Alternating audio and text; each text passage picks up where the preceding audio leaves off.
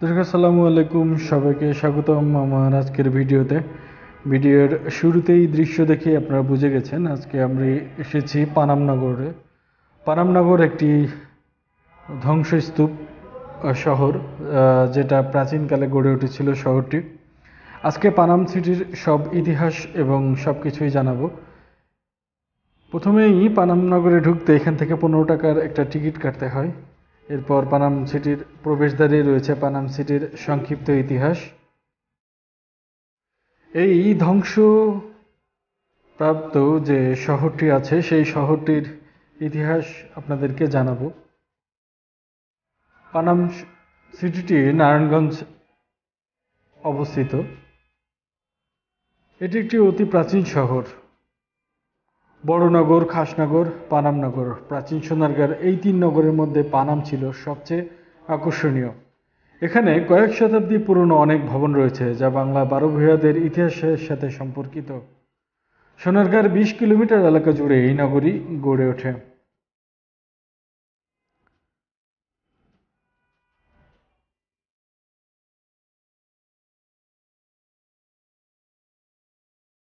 ঘুরবো পুরো পানামনগর এবং ঘুরতে ঘুরতে আপনাদেরকে জানিয়ে দেব পানামনগরের ইতিহাস। পনেরোশো শতকে এই শাখা বাংলায় প্রথম রাজধানী স্থাপন করেছিলেন সোনারগাঁয়ে। পূর্বে মেঘনা আর পশ্চিমে শীতালক্ষা নদীপথে বিলেত থেকে আসতো বিলাতি থান কাপড়, দেশ থেকে যেত মুসলিম। শীতলক্ষা আর মেঘনার ঘাটে প্রতিদিনই ভিড়ত পালতোলা নৌকা।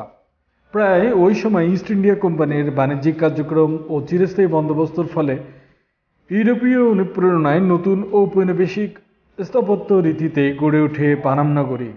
পরবর্তীতে এই পোশাক বাণিজ্যের স্থান দখল করে নেয় নীল বাণিজ্য। ইংরেজরা এখানে বসিয়েছিলেন নীলের বাণিজ্য কেন্দ্র।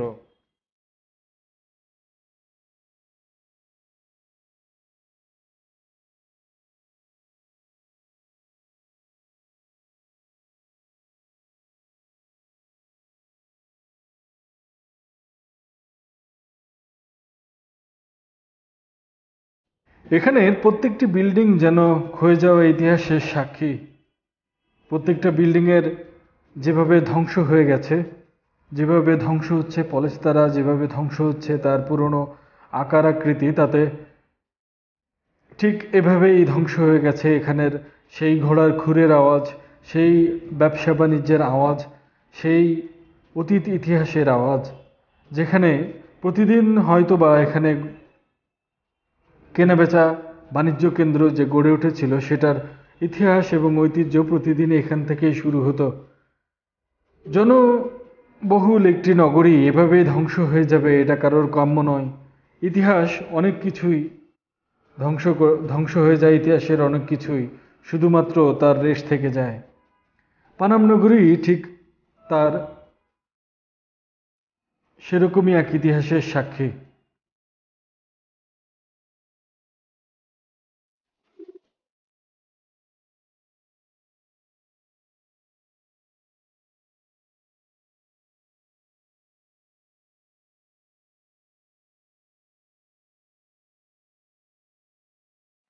সুলতানের আমলে পানাম ছিল সোনারগাঁর রাজধানী, কিন্তু পানামে সুলতানি আমলের তেমন কোনো স্থাপত্য নজরে পড়ে না।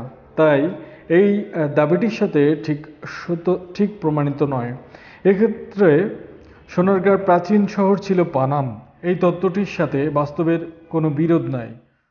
শহরটিতে ঔপনিবেশিক ধাঁচের দোতলা এবং একতলা বাড়ি রয়েছে প্রচুর, যার বেশিরভাগই ঊনবিংশ শতাব্দীর। মূলত পানাম ছিল বাংলার সেই সময়কার ধনী ব্যবসায়ীদের বসত ক্ষেত্র। ব্যবসায়ীদের ব্যবসা ছিল ঢাকা কলকাতা জুড়ে। তারাই গড়ে তোলেন এই নগরী।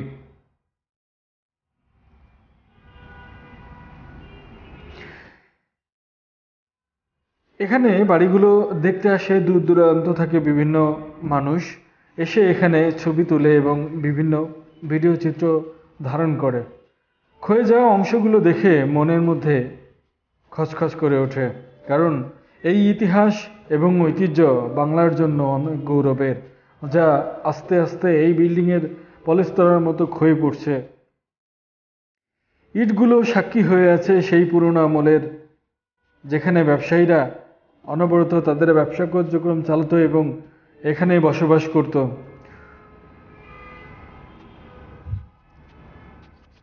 প্রতিটি বাড়ির দিকে তাকালে মনে হয় যেন এই বাড়িগুলোর পাশে কত স্মৃতি, কত মানুষের আনন্দ, উল্লাস সব কিছু জড়িয়ে এই বাড়িগুলো। অথচ এখন সেখানে জনমানবহীন, শুধুমাত্র দর্শনার্থীরাই এখানে এসে ভিড় করে।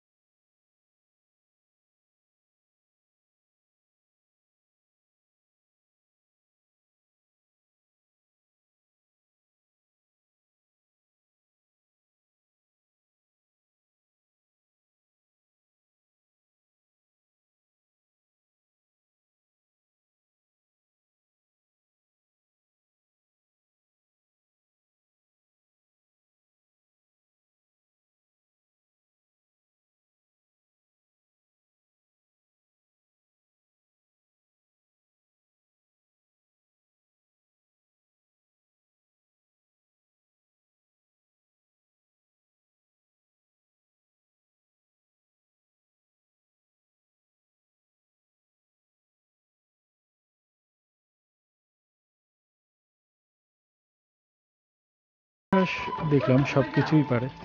ইতিহাস সব কিছু মুছে দিতে পারে, সবার পরিচয়ও মুছে দিতে পারে। কিন্তু যেগুলো সংরক্ষণ করা আছে, সেগুলো হয়তো বা মুছবে না। টিকে থাকবে যুগ যুগ।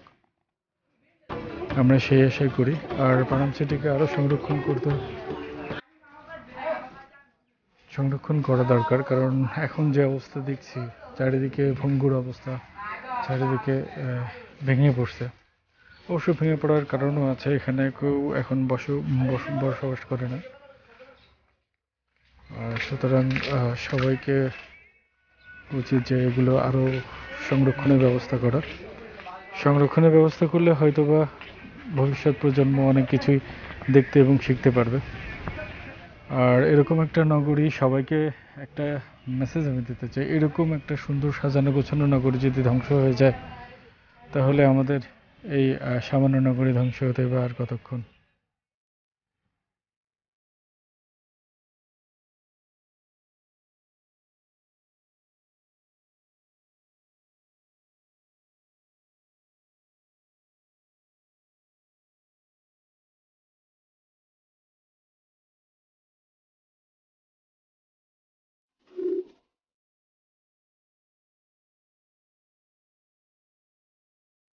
এখানে এসে আরও একটু অবাক হলাম। এখানে এসে দেখলাম যে বিজে, বিদেশি পর্যটকদের উপস্থিতি।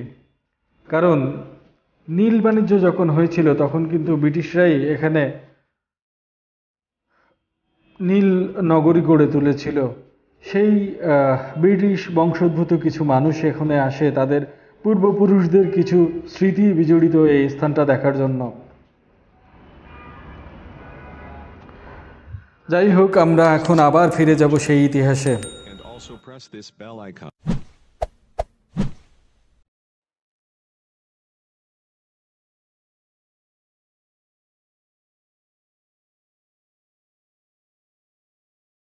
ষোলোশো এগারো খ্রিস্টাব্দে মুঘলদের সোনারগাঁ অধিকারের পর সড়ক ও সেতু নির্মাণের ফলে রাজধানী শহরের সাথে পানাম এলাকার সরাসরি যোগাযোগ স্থাপিত হয় পানাম পুল এখন বিলুপ্ত। দুলালপুর পুল এবং পানাম নগর সেতুর অবস্থান ও তিন দিকের খাল বেষ্টনী থেকে বোঝা যায় পানাম সোনারগাঁর একটি উপশহর ছিল। বাংলার স্বাধীন রাজা ইশাকার পদচার- পদচারণা ছিল এই নগরীতে। সুলতানি আমল থেকে এখানে বিকশিত হলো। বিকশিত ছিল বাংলার সংস্কৃতি। পানামে টিকে থাকা বাড়িগুলোর মধ্যে বাহান্নটি বাড়ি উল্লেখযোগ্য। পানাম সড়কের উত্তর পাশে একত্রিশটি আর দক্ষিণ পাশে একুশটি বাড়ি রয়েছে। বাড়িগুলোর অধিকাংশর আয়তাকার উত্তর দক্ষিণে বিস্তৃত, উচ্চতা একতলা থেকে তিনতলা। বাড়িগুলোর স্থাপত্যে ঔপনিবেশিকতা ছাড়াও মোঘল, গ্রিক এবং গান্ধারা স্থাপত্য শৈলীর সাথে স্থানীয় কারিগরদের শিল্পকুশলতার অপূর্ব সংমিশ্রণ দেখা যায়। প্রতিটি বাড়ি ব্যবহার উপযোগিতা, কারুকাজ, রঙের ব্যবহার এবং নির্মাণ কৌশলের দিক দিয়ে উদ্ভাবনী কুশলতায় ভরপুর। ইটের সঙ্গে ব্যবহার করা হয়েছে ঢালাই লোহার তৈরি ব্র্যাকেট ভেন্টিলেটর আর জানালার গ্রিল। মেঝেতে রয়েছে লাল, সাদা, কালো মোজাইকের কারুকাজ। প্রায় প্রতিটি বাড়িতেই খিলান ও ছাদের মধ্যবর্তী স্থানে নীল, সাদা ছাপ দেখা যায়। এছাড়া বাড়িগুলোতে নকশা ও কাস্ট আয়রনের কাজ নিখুঁত। কাস্ট আয়রনের এই কাজগুলো ইউরোপের কাজের সমতুল্য বলে বিশেষজ্ঞদের অভিমত। এর সাথে আছে শ্রমিক টাইল, টাইলসের রূপায়ণ। প্রতিটি বাড়ি অনবদ অন্দরবটি ও বহির্বাটি দুই ভাগে বিভক্ত হয়ে গেছে। বেশিরভাগই বাড়ির চারিদিকে ঘেরাটোপের ভেতর আছে উন্মুক্ত উঠান। পানাম নগরীর পরিকল্পনাও নিখুঁত। নগরীর পানি সরবরাহের জন্য দুপাশে দুইটি খাল এবং পাঁচটি পুকুর আছে। প্রায় প্রতিটি বাড়িতেই আছে কুয়া বা কূপ। নগরীকে জলাবদ্ধতা মুক্ত রাখতে করা হয়েছে খালের দিকে ঢালু। প্রতিটি বাড়ি পরস্পর থেকে সম্মানজনক দূরত্বে রয়েছে। নগরীর যাতায়াতের জন্য রয়েছে একমাত্র রাস্তা, যা নগরীর মাঝখান দিয়ে বয়ে গেছে এপাশ ওপাশ। নগরীর ভিতরে আবাসিক ভবন ছাড়াও আছে মসজিদ, মন্দির, গির্জা, মঠ, গোসলখানা, নাচঘর, পান্থশালা খাজা জিখানা দরবার কক্ষ গুপ্ত পথ বিচারালয়, পুরনো জাদুঘর।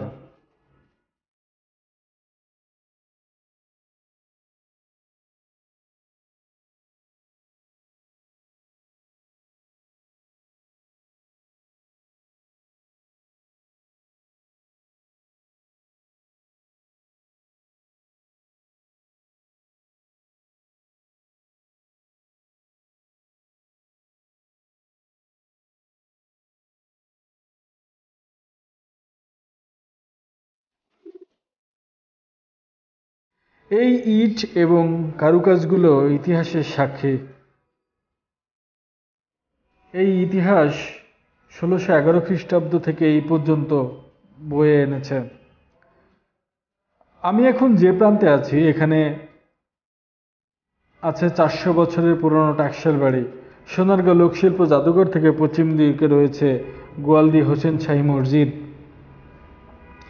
এই মসজিদটি সুলতান আলাউদ্দিন হোসেন শাহীর শাসনামলে নির্মিত। ইস্ট ইন্ডিয়া কোম্পানির নীল চাষের নির্মম ইতিহাসের নীরব সাক্ষী হয়েছে পানামের নীলকুঠি। পানাম পুলের কাছে দুলালপুর সড়কের পাশেই এর অবস্থান। এখন আমরা জানব কীভাবে পানাম সিটি অবক্ষয় হয়। মধ্যযুগে সোনারগাঁ বাংলাদেশের রাজধানী হওয়ার পর থেকে পানামনগর ব্যাপক উৎকর্ষ লাভ করে। কিন্তু ব্রিটিশরা বাংলার নিয়ন্ত্রণ নেয়ার পর থেকে সম্ভ্রান্ত মুসলিমরা ব্রিটিশদের সঙ্গে অসহযোগিতা করায় ব্রিটিশরা এখানকার বাসিন্দাদের প্রভাব প্রতিপত্তি কমানোর উদ্যোগ নেয়। একই সঙ্গে তারা এখানে উচ্চবর্ণের হিন্দুদের পুনর্বাসন শুরু করে, ফলে এখানে ক্রমে হিন্দু ব্যবসায়ীদের অবস্থান তৈরি হয়। একই সঙ্গে অতীতে বসবাসকারী অনেক ব্যবসায়ী যারা ব্রিটিশদের সঙ্গে সহায়তা করেনি তারা ক্রমে এই এলাকা ছেড়ে চলে যেতে বাধ্য হয়। ফলে পানামনগরের বিস্তীর্ণ এলাকা ক্ষতিগ্রস্ত হয়। ভেঙে ফেলা হয় অনেক বাড়িঘর। এভাবে পানামনগরের বিস্তীর্ণ এলাকা ধ্বংস হয়ে যায়। বর্তমানে পানামনগরের দুই ধারে পুরনো যেসব ভবন দেখা যায় তা মূলত ব্রিটিশদের সহায়তা গড়ে ওঠা ঊনবিংশ এবং বিংশ শতাব্দীর হিন্দু উচ্চবর্ণের ব্যবসায়ীদের তৈরি। ব্রিটিশরা চলে যাওয়ার পর এসব ব্যবসায়ীরা প্রতিপত্তির হ্রাস পায়। ফলে এই ভবনগুলো ক্র- ক্রমে পরিত্যক্ত হতে থাকে।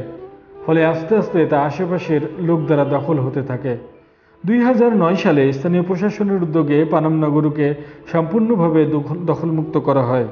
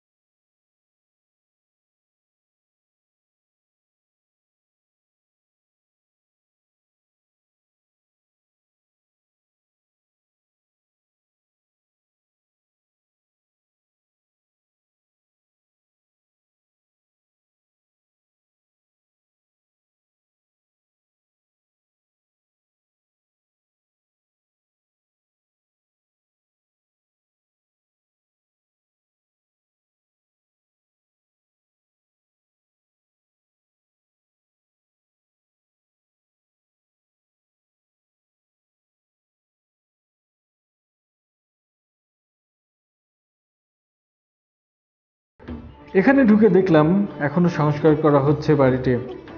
আমি এখানে আসার পর এক নম্বর এবং দুই নম্বর বাড়ি খুঁজে পাচ্ছিলাম না। হঠাৎ যখন আমি রেলিং ক্রস করলাম, অর্থাৎ যেখানে টিকিট দিয়ে বের হতে হয়, ঠিক তার আগেই এক নম্বর এবং দুই নম্বর বাড়ি চোখে পড়ল। এবং আপনাদের জন্য তুলে ধরলাম সেই বাড়িটা। এই বাড়িগুলো অসাধারণ এবং পরিবেশটা এতটাই সুন্দর বাড়ির ভিতর এবং বাহিরে যে যে কেউ দেখে হতবাক হয়ে যাবেন এই বাড়িগুলো কত সুন্দরভাবে এবং কত নিখুঁতভাবে বানানো হয়েছে। যেমন এই বাড়িটির একতলা, দোতলা এবং মাঝের উঠানটি, দুই বাড়ির মাঝে যে উঠান রাখা হয়েছে, সেটা এত সুন্দরভাবে কারুকাজ করা যে দেখলে মুগ্ধ হবেন। পুকুর যে কয়টি আছে, তার শেষ একদম প্রথম ভাগের যে পুকুর, সেটি হচ্ছে এটি।